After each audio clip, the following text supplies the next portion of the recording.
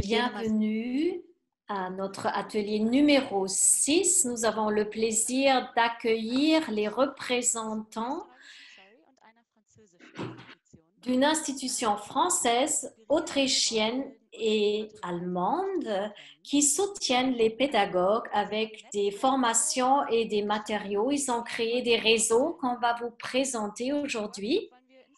Avec cet atelier, nous voulons jeter un regard au-delà des frontières et nous espérons que d'autres réseaux vont se créer. Dominique Davio et Laurence Campariol du vont présenter leur site internet. Là, vous trouverez des matériaux téléchargeables et ils soutiennent également des actions pour les classes. Ce n'est pas seulement intéressant pour les enseignants en France, mais aussi pour des enseignants du français en Allemagne. Donc, je donne la parole à Laurence. Laurence Compariol et Dominique Davio. Oui, Bonjour à tous, euh, euh, j'espère que vous m'entendez bien. Euh, tout d'abord, un grand merci pour votre initiative et puis de nous avoir conviés pour partager les actions que nous menons en direction du, milieu scolaire et qui nous permet aussi de découvrir les autres initiatives. C'est toujours extrêmement enrichissant. Euh, donc, nous faisons partie avec Laurence Campariol euh, de l'interprofession des semences et plants euh, en France. parmi nos missions, nous avons un rôle d'information sur les semences et plants et nous avons depuis une quarantaine d'années des actions pour favoriser la pratique du jardinage auprès des particuliers, mais aussi également en direction du milieu scolaire. Alors, je vais, partager euh, les,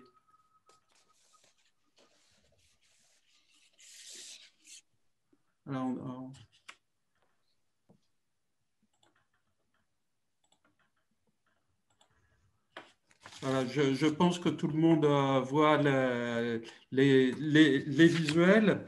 Donc c'est vrai qu'avec des enfants euh, de plus en plus citadins, coupés de la nature et de la vie des plantes, les professionnels au sein de notre secteur ont souhaité lancer, euh, il y a plus de, 35 ans, une grande opération pour faire découvrir aux enfants les joies du jardinage et le plaisir de, mettre les mains dans la terre.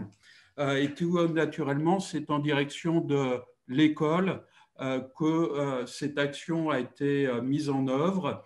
Et pour tenir compte de la diversité des cultures qu'il était possible de faire au sein des écoles, nous nous sommes associés aux professionnels euh, de l'horticulture. Euh, alors pourquoi avoir euh, choisi l'école? Eh bien, ça nous a paru évident parce que les enseignants pratiquent en France depuis toujours des activités de jardinage avec les enfants, du fait de la richesse des prolongements pédagogiques de cette activité que connaissent bien les enseignants. Euh, en effet, il est possible de faire l'ensemble des instructions officielles de manière appliquée à travers euh, l'activité de, jardinage. Euh, mais pour mettre en place cette activité, les enseignants qui n'ont pas toujours un savoir-faire horticole ont besoin d'informations, manquent d'informations pratiques sur les espèces adaptées aux enfants, adaptées au calendrier scolaire, euh, sur la façon de les cultiver à l'école. Dans certains cas, il y a des jardins, parfois il n'y a qu'une cour, mais euh, il y a aussi des possibilités au, sein euh, des classes. donc c'est pour répondre à ce besoin d'information pratique que des ressources ont été développées à l'aide à la fois de conseillers pédagogiques et avec l'appui d'une enseignante qui pratiquait des activités de jardinage avec les enfants. C'est ainsi qu'a été lancée euh, l'opération Jardinons à l'école en 1985 avec l'appui euh, et le soutien euh, de l'inspection générale de l'éducation nationale. Il était important pour le secteur professionnel d'avoir un accord et un appui des structures de l'éducation nationale pour développer cette opération. L'opération a pris une dimension supplémentaire en 1999 avec l'organisation chaque printemps de la semaine du jardinage pour les écoles que l'on va vous présenter. Et puis enfin avec le développement euh, de l'utilisation de l'informatique par les enseignants au niveau euh, scolaire, eh bien, euh, toutes les ressources pédagogiques que l'on a pu développer pendant une quinzaine d'années, qui étaient sous forme papier, ont été partagées sur un site internet, Jardinons à l'école, que je vais vous, vous présenter maintenant. Donc, on vous présentera le site et puis avec un focus sur la semaine du jardinage pour les écoles réalisées au, printemps. Euh, donc, euh, c'est vrai que les enseignants se posent beaucoup de questions euh, pour mettre en place, développer des activités de jardinage avec les, les enfants. Les questions sont multiples et pour pouvoir y répondre, un site Internet a été développé. il s'adresse aux enseignants des premiers cycles scolaires, mais aussi à des animateurs qui développent euh, des activités avec les enfants en matière de jardinage. Euh, il reçoit environ près de 300 000 visites chaque année scolaire pour vous donner euh, une idée de, son accueil et de sa fréquentation. Ce site comprend en fait cinq grandes parties.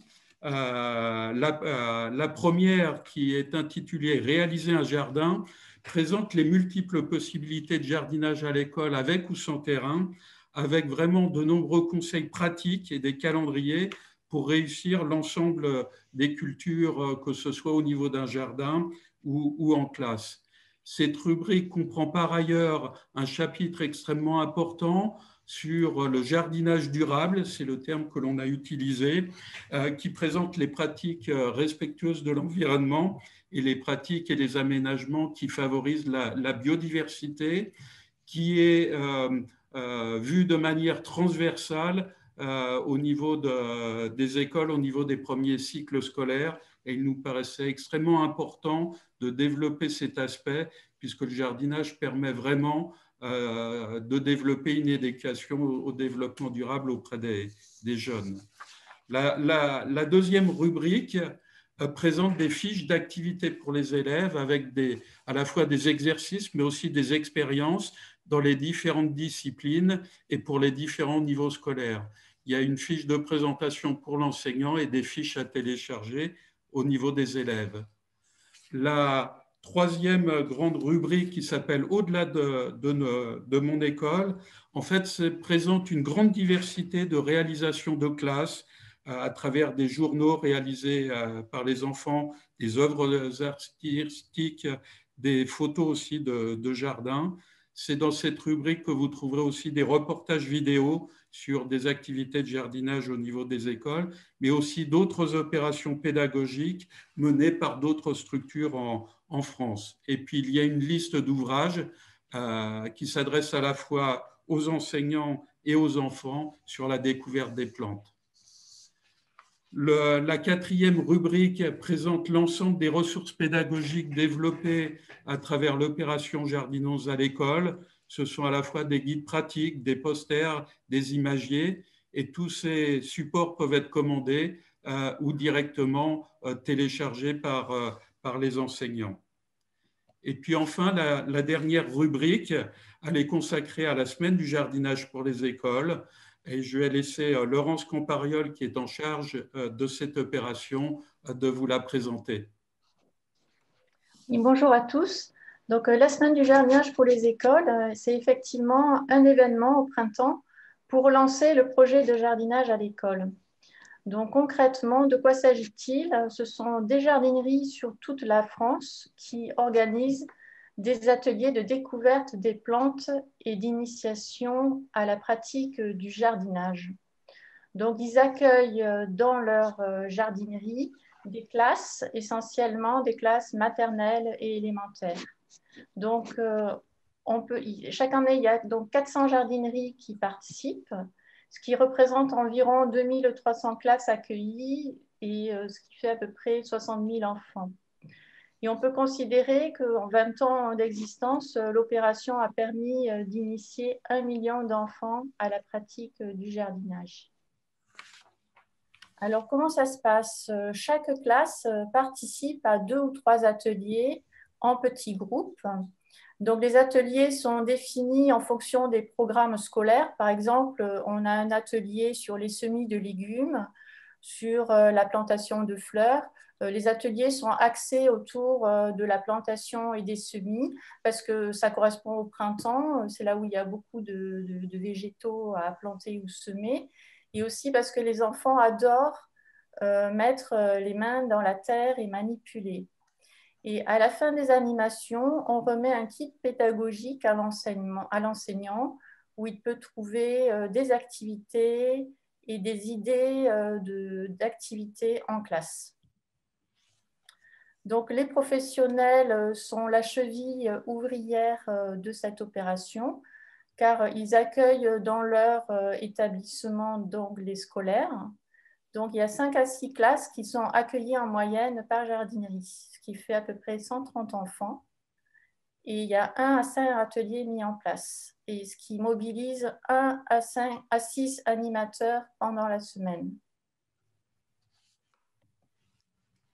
Alors, quel est le niveau scolaire des enfants accueillis? Donc, d'après euh, les, euh, les, statistiques euh, que nous transmettent les jardineries, on peut voir qu'il y a à peu près à moitié-moitié des maternelles et, euh, des classes élémentaires et des classes du CP au CE2.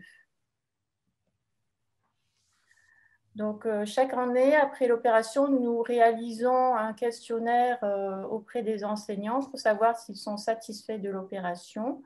Donc, nous recueillons 165 avis à peu près chaque année et donc, vous voyez, majoritairement, les enseignants sont très satisfaits de l'opération.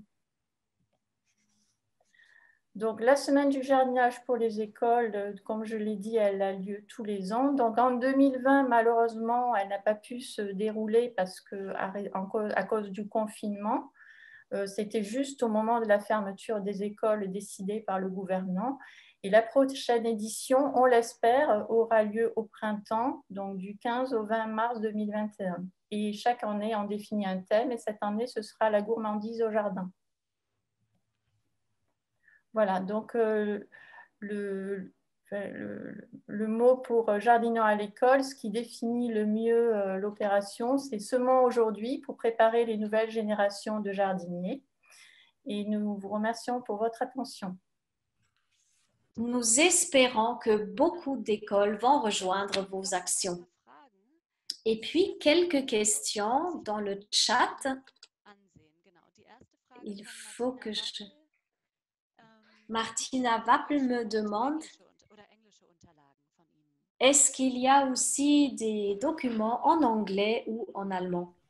Non, pour, pour l'instant, nous avons vraiment euh, développé euh, des, supports euh, à destination bah, des écoles en, France métropolitaine, ou voire on sait qu'il y a beaucoup aussi d'écoles, d'enseignants qui les utilisent par rapport à la langue francophone en Belgique, au Canada également même si les espèces euh, qu'il est possible de cultiver euh, doivent tenir compte, euh, bien entendu, des, conditions de, climat spécifiques à, chacun des pays. On sait aussi que les supports sont utilisés pour développer des jardins scolaires, pédagogiques en Afrique, par exemple mais nous n'avons pas de support développé pour l'instant en, langue étrangère. Okay, danke für diese Antwort. Ähm, zahlen die Klassen etwas für die Besuche in den Gärtnereien, möchte Lena Heilmann gerne wissen. Non. Euh, les visites sont totalement gratuites. Ce sont les, jardineries qui prennent en charge l'accueil euh, des scolaires, qui s'occupent de l'organisation des ateliers et euh, dont non, non, ils proposent cela gratuitement. Super. Ähm, ich wähle jetzt noch eine Frage aus aus den zahlreichen Fragen, die uns gerade noch erreichen, damit wir dann ähm, zeitnah auch zum nächsten Vortrag übergehen können. Ähm, vielleicht mal eine Frage, die auf Französisch gestellt wurde. Ähm, ist es möglich, eine, einen Workshop für Collégiens ähm, zu organisieren, also die Sixième zum Beispiel? Actuellement, euh, ce n'est pas prévu euh, dans le, cahier des charges de l'opération parce qu'on se limite au CM2, parce que c'est pour des raisons de logistique et d'organisation. On a énormément de, de demandes avec les, les, écoles primaires, donc on n'a pas ouvert aux, aux collégiens.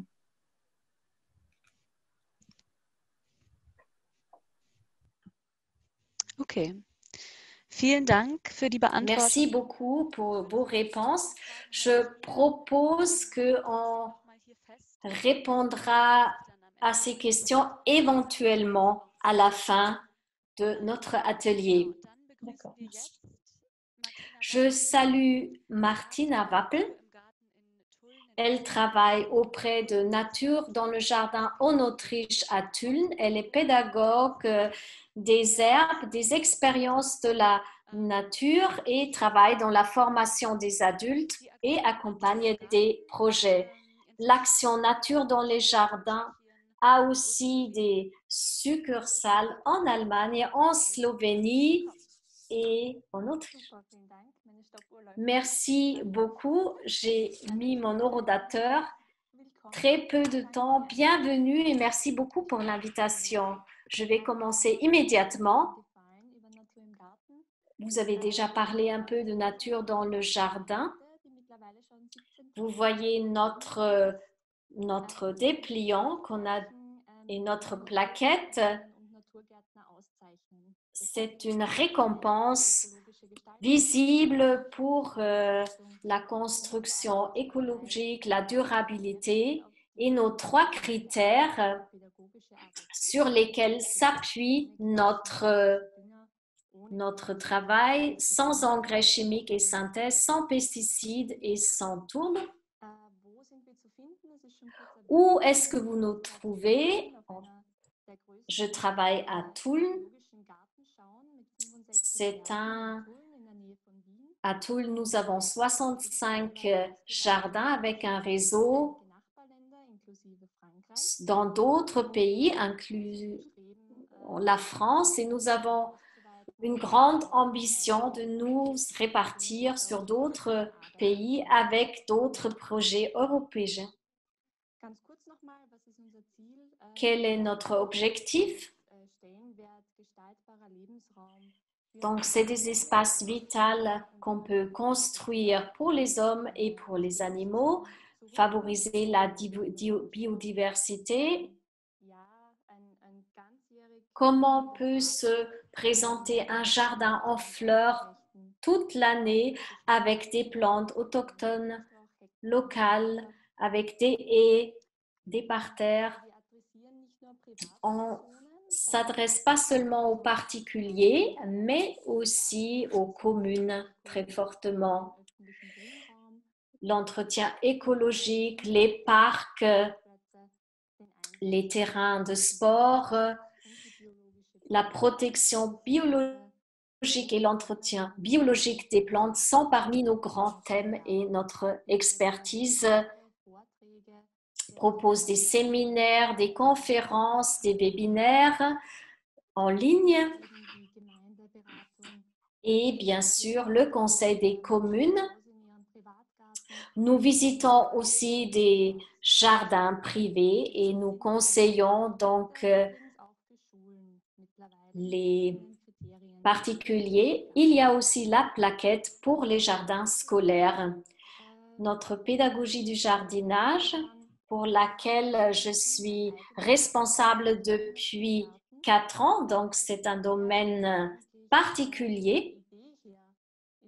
Son idée est que la pédagogie du jardinage est relativement jeune par rapport à la pédagogie de la nature et notre idée de la pédagogie du jardinage est que le jardin est un lieu limité qu'on peut construire et qu'on peut utiliser dans l'enseignement. Nous nous appuyons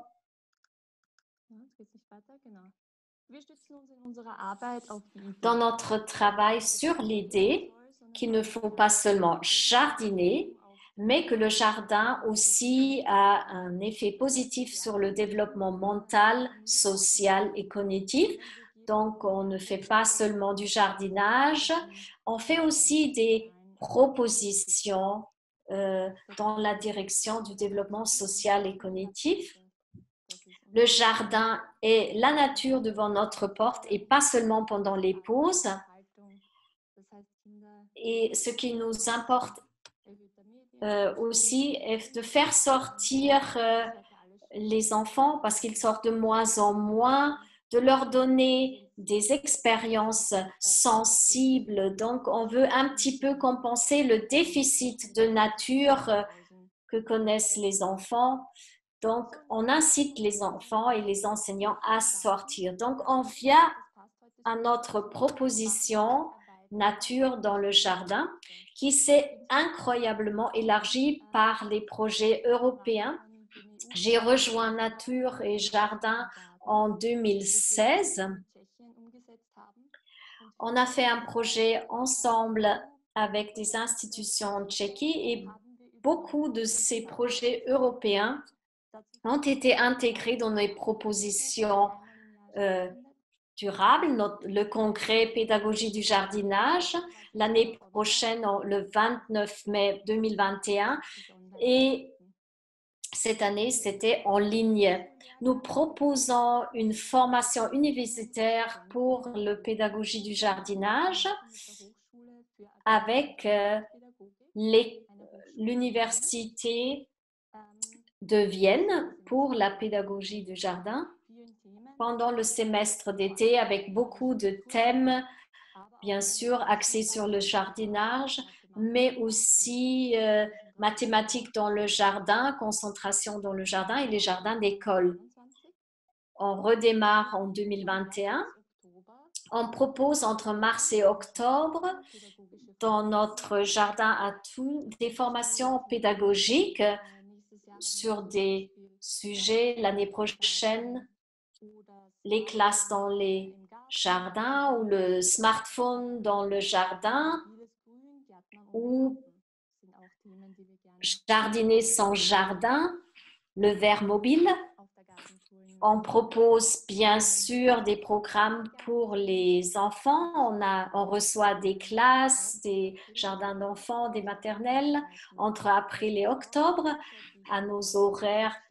Je vais vous présenter un petit peu le site Internet. Les écoles viennent activement chaque année au mois d'août. On organise une université pour les enfants, donc on travaille avec des institutions scientifiques, des universités et des écoles pédagogiques, où pendant une semaine, nous faisons des recherches, nous découvrons et nous appliquons les sciences avec, dans des ateliers. Donc, nous sommes les organisateurs de cette manifestation.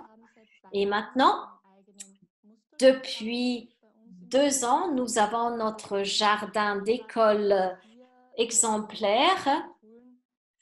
À Tulle, nous montrons comment on peut faire un jardin d'école. Nous l'avons planifié. Il y a des sièges, il y a des ateliers en plein air, il y a des carrés. Donc ici, les enseignants peuvent regarder comment ça peut fonctionner et comment ça peut être planifié et réalisé.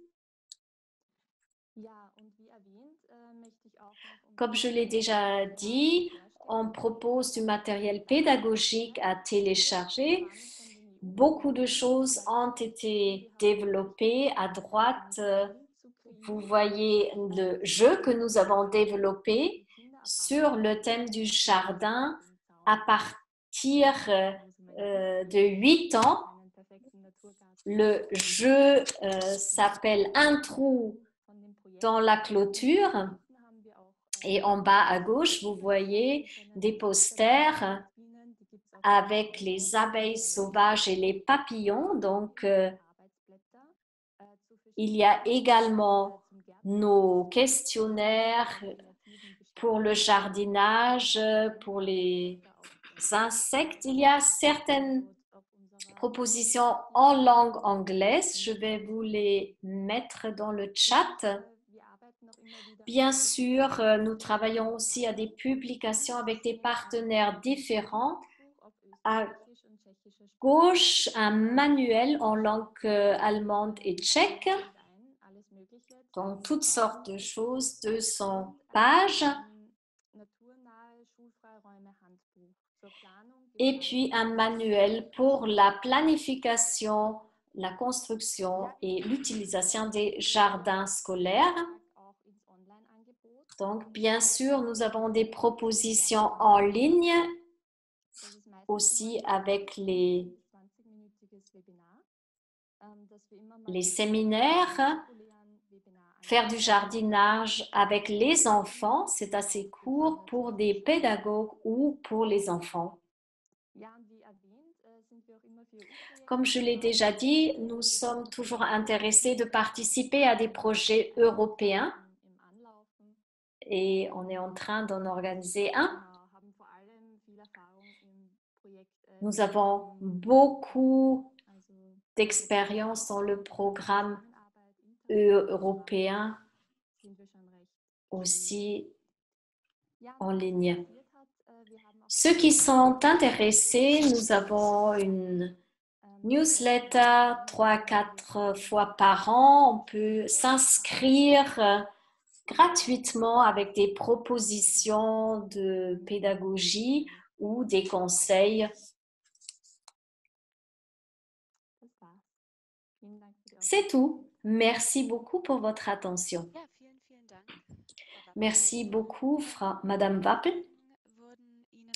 Trois questions ont été posées dans le chat. La première, est-ce que l'Union européenne vous soutient? Non on est à 100% euh, soutenu par la région de la Basse Autriche.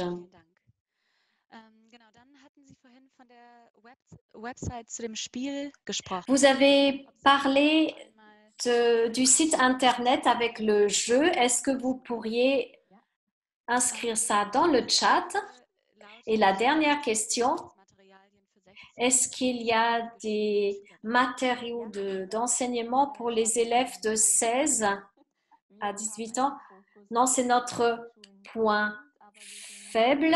On est surtout ciblé sur, les, sur le primaire, mais on est en train de proposer quelque chose pour les ados. On a une coopération avec une école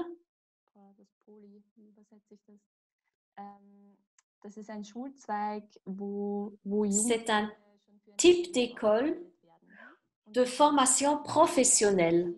Donc, ils arrivent six à sept fois chez nous et on leur donne euh, une pratique du jardinage. Mais on n'a pas encore développé des concepts euh, pédagogiques pour ça. Mais ça viendra peut-être.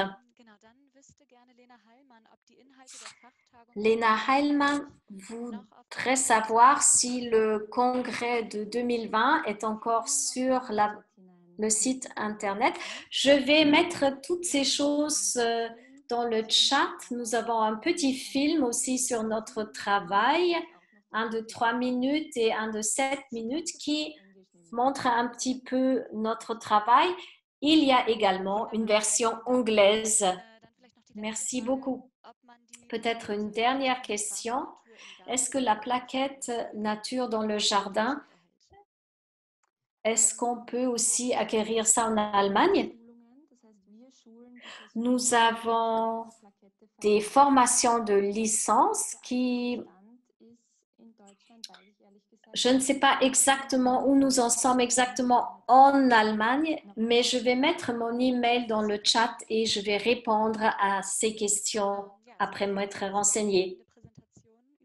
Merci pour votre, votre présentation. Je crois que le jardin à Thun vaut le voyage et j'espère que ça sera bientôt possible. Et je pense que vos propositions de formation intéressent beaucoup d'enseignants. En dernier, je salue Madame Benkowitz de l'Association fédérale pour les jardins d'école. Merci beaucoup.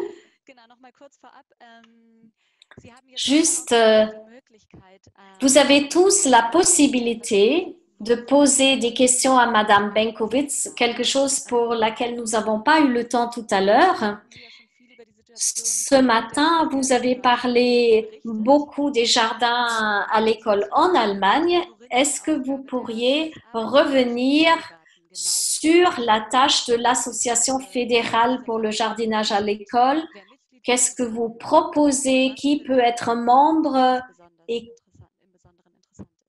quel enseignant pourrait être enseigné? J'aimerais bien vous montrer notre site Internet parce que beaucoup d'informations sont déjà inscrites.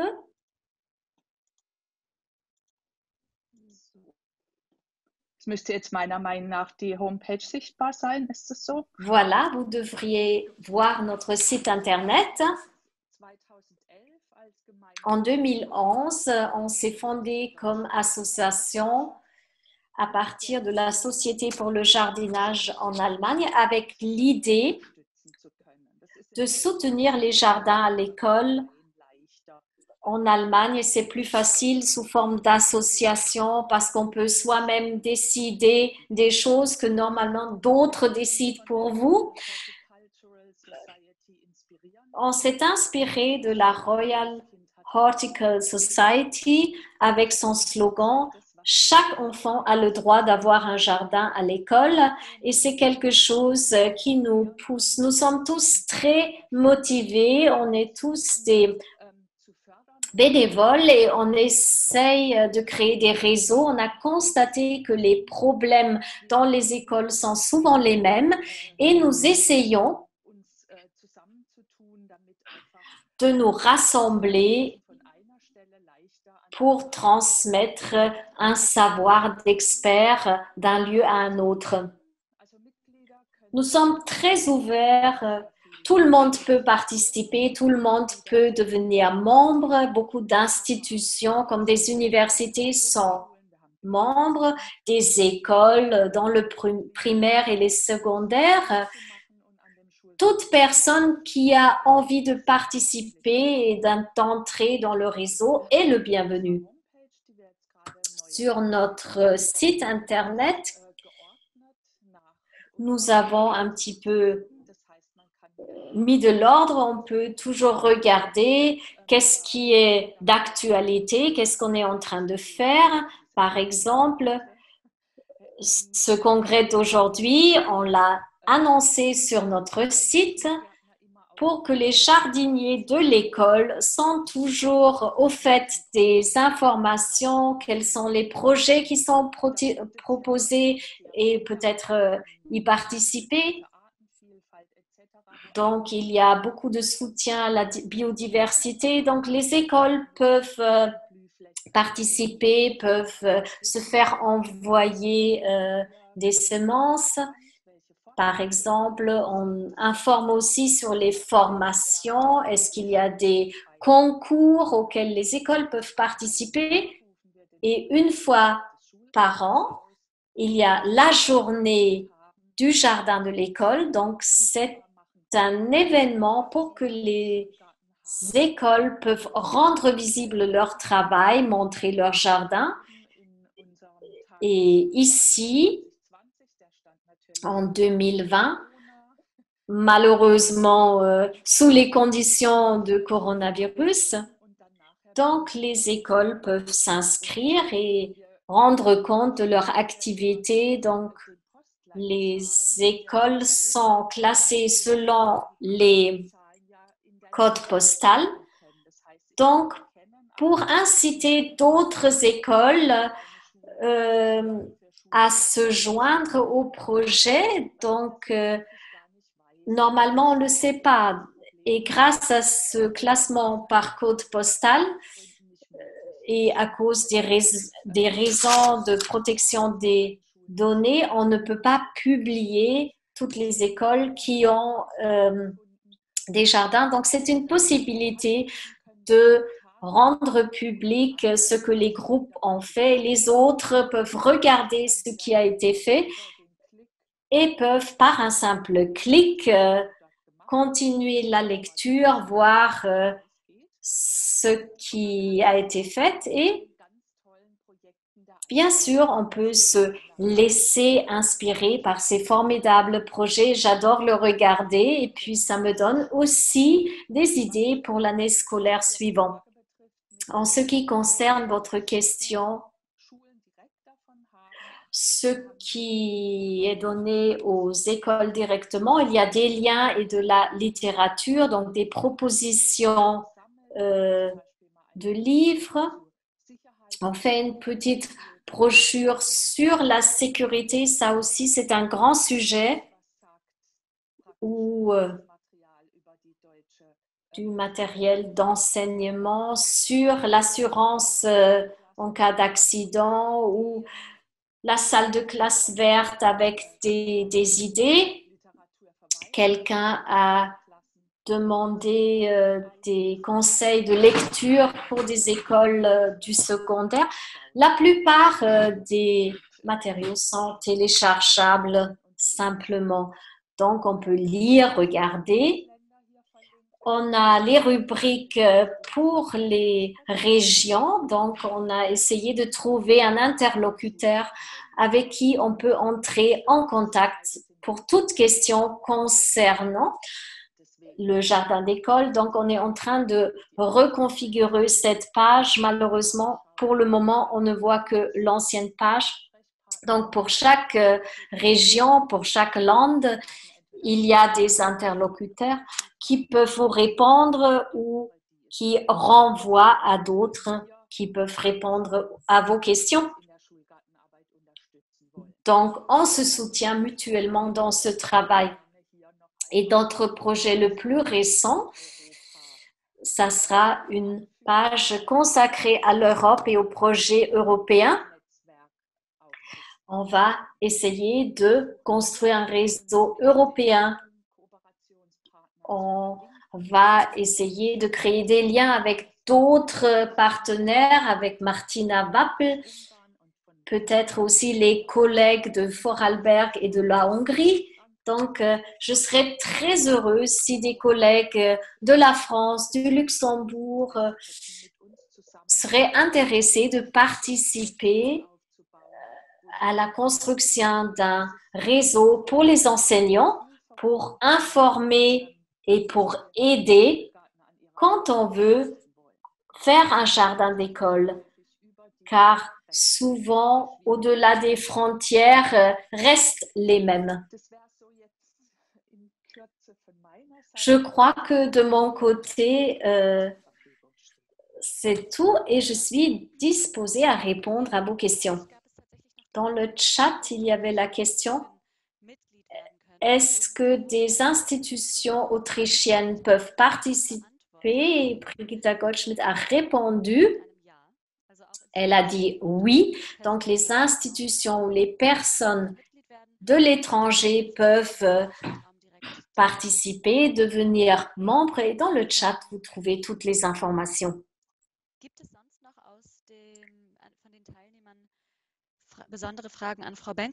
Y a-t-il d'autres questions pour Madame Benkowitz?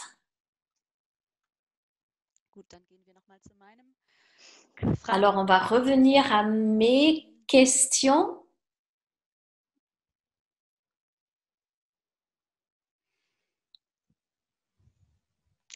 Sind denn aktuell weitere Tagungen oder Schulungen geplant? Est-ce que des congrès ou des formations sont prévus et comment y participer?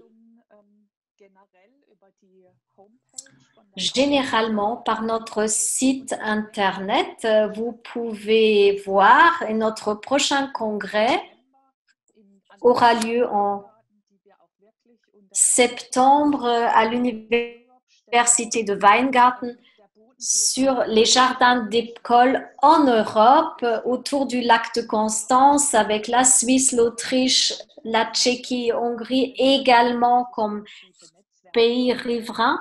Je pense qu'on peut construire des bons réseaux. On est très heureux d'accueillir des participants d'autres régions.